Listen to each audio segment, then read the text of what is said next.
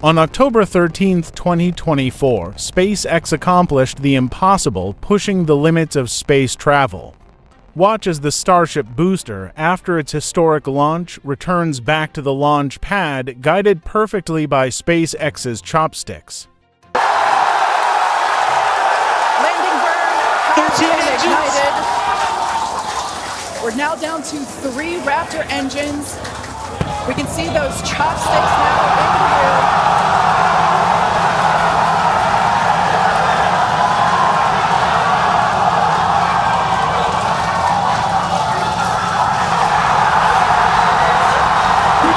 current shutdown.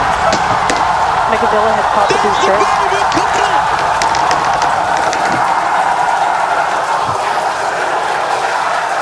This is absolutely insane. On the first ever attempt, we have successfully caught the Super Heavy booster back at the launch tower. What an incredible view! Are you kidding